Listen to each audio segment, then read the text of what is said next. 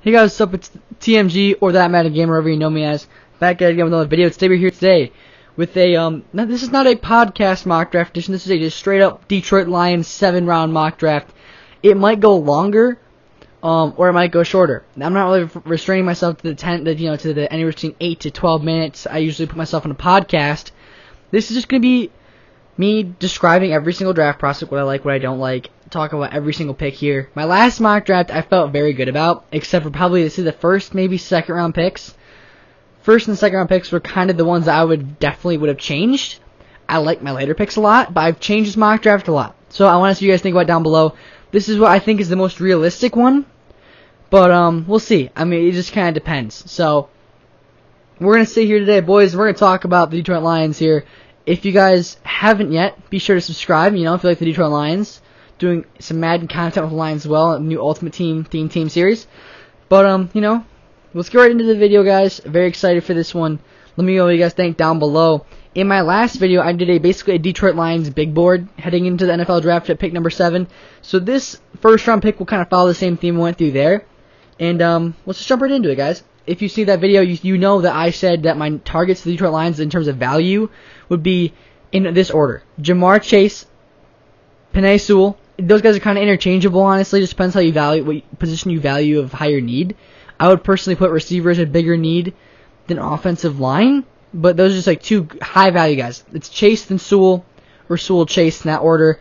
Then it's probably Rashawn Slater.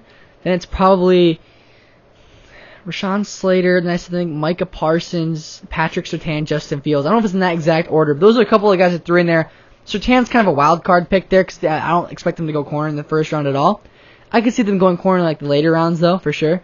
But um, I think the picks there will probably be either a playmaker. I say Pitts, a Chase, a Waddle, um, Sewell or Slater as an offensive lineman, or Parsons as a linebacker, um, or, or a trade out. This mock draft has no trade outs, just so you guys know. Um, no trade outs here. I seen someone in the last video said if you if they could trade out, this would be even better. No trade outs in these mock drafts. It'd just be too complicated. So we're gonna go right here. Round one, pick number seven. I'm having to take Penei Sewell, offensive lineman from Oregon. I say offensive lineman because he doesn't have to play offensive tackle, man. This guy played left tackle in college at a pretty high level. There's some technical things I think he could definitely polish up, but with the right offensive line coach, I think he'll be just fine. Um, pass protection mainly. Run run game. This guy's a mauler. I don't see very many issues at all balanced, just absolute run mauler. I mean, he just he fits into blocks well. He runs through smart players well. Um, I see pass protection. I see some inconsistencies with his feet. He likes to lean sometimes. Um, still a very good offensive line prospect, probably the best one this draft. But uh, Rashawn Slater's like right behind him. So if Rashawn Slater's here and Sewell isn't, I would not take. I, I would take Rashawn Slater. I'm trying to say I wouldn't have any heartburn with it. But um, Sewell the positives, man, you have yourself a plug-and-play left tackle or right tackle starter, depending on which one you see is your bigger need. I'm gonna guess they're probably gonna play him at right tackle if they drafted him, unless they think Hal Vaitai can play right tackle, and they'll probably play right guard right away because Joe Dahl's gone. Um, Tyrell Crosby will probably be related to the, you know, the, the, the, you know, the odd guy out there, probably more of a swing tackle.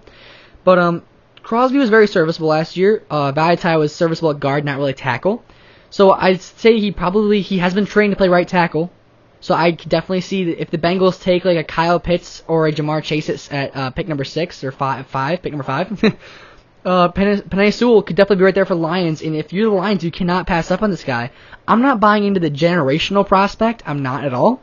Um, generational prospects are very special, and he's a good offensive lineman, but he's not a generational offensive lineman. Um, pick seven though, good pick for Lions, plug and play, day one, right tackle, right guard kind of player can play left guard as well, I guess. He can play guard tackle. He's gonna be a good one at either one of those positions. And if he's not a stud tackle, I truly believe he'll be an all-pro caliber guard. All right, next pick. Sorry, I rambled on a little bit there. Round two, pick 41. We got Terrace Marshall, receiver from LSU. Big guy, big catch radius. Um, runs solid routes. fast. And just a guy who was really overshadowed by Justin Jefferson and Ja'Marr Chase at LSU. And last year, you saw him eat. He had a good season. I watched some film on him when I first started making these mock drafts, I thought this guy I liked in the second, late, you know, late first, early second round kind of player. I thought the Lions could snag him in the second round. Um, that's what I'm doing right here. He's a stud. Um, one thing I do see a little bit, I do see some body catching issues, um, which I think are definitely correctable. I mean, he's got strong hands. You've seen him go up a high point the ball. He's a good player, man. He's a great player. The one biggest con I see from him, I say that there is some body catching issues. Maybe it's just me. Maybe I'm nitpicking him. I probably am because he's a good prospect. But I see some body catching issues. He runs good routes. He's a he's he's not only he's a true separator, but he's a big guy. I think he's six three, six six three, something like that. Bigger guy, good catch radius, goes up and gets the ball, great the ball in center to contact. Great player. If you get him in the second round, it's a great value pick. Round three, pick 72, we got Richie Grant, the safety from UCF, a guy who can do a bit of everything. He can play in the box, he can play over the top. Um, I think the Lions are probably when they draft him, he's more of a Swiss Army knife kind of player. I think they'd probably use Tracy Walker as more of a strong safety and let Tracy Walker play up in the box some more, and or Will Harris. Just kind of depends here. I think Richie Grant is more of a true over the top kind of safety. He makes a lot of plays, and um, yeah, you, you watch the film, you turn tape on, man. He makes a lot of good plays. In as a tackler, as a pass cover guy, I like Richie uh, Richie Grant a lot. Um, he's a guy I've become kind of high on as of late. I first I saw him at the Senior Bowl, I liked what he did at the Senior Bowl, and he can play some nickel corner as well. So uh, he has that versatility factor for him, man. And I just like the pick in this rebuilding defense to add a secondary weapon. A guy that can play some nickel corner if you need him to be as a rookie. Just nickel corner, third round pick, rotates in as a safety, starts to develop more of a true safety. Um, but I think he can play about anywhere. I don't know if he's a true strong safety or not, but he's probably more of a free safety in our defense. Just depends what our defensive scheme requires. But I think he's more of an NFL uh, free safety, not a strong safety so much. I think Tracy Walker has the body to be more of a strong safety if he really wanted to be. Um, he kind of used him all over the board though. So I think last year was more of a strong safety. But um, don't quote me on that. so Richie Grant, developmental safety. If Tracy Walker isn't your guy, whether you plan on playing him at free safety or strong safety, wherever, uh, Richie Grant can play wherever, man. I, I like him a lot as more of a free safety kind of guy, replacing Tracy Walker or just playing alongside of him. Um, round three, pick 101, we got Chaz Surratt, linebacker from UNC. I had to go linebacker at least once in this draft because linebacker's too big of a need to pass up. Guy was a quarterback at UNC and actually wasn't absolutely terrible. Was more of an athlete than a quarterback in my opinion. But dude, this guy's an athletic monster. Big, long, a little bit more raw. Can cover though. I mean, I see him and I see a guy like Jabril Cox, and I don't see that much of a down, that much of a downgrade when you draft this guy. I think Jabril Cox will go in the second round, early third round, but um, I honestly don't see much of a downgrade here. I think he's more raw to position, but I just think that he's a very, very versatile and talented player. Guys, just crazy athlete, gets to the quarterback and pass rushing downs, can cover very well. I don't know if he's your true NFL thumper, but the NFL is evolving away from the thumper linebacker. You, they're evolving into more of a sideline to sideline impact playmaker. Put some weight on this. I think he's 230. I think he's like high 230s. Add some weight to this dude's bones in the NFL nutrition system and weight room. I mean, this guy's gonna. Be, I think this guy could be great. I really do. With the right coaching, this guy could be great. Round four, pick 112. We got Shaun Wade, corner from LSU, LSU, OSU. My bad, Ohio State University. Shaun Wade is extremely just got dumped on after he struggled to cover. He was kind of terrible on the outside. I don't know how to say it. DeVonta Smith made him look stupid in the national championship. Um, just kind of bad on the outside, man. Not, not an outside corner. In the slot, though, people ignore how good he was in the slot at Ohio State.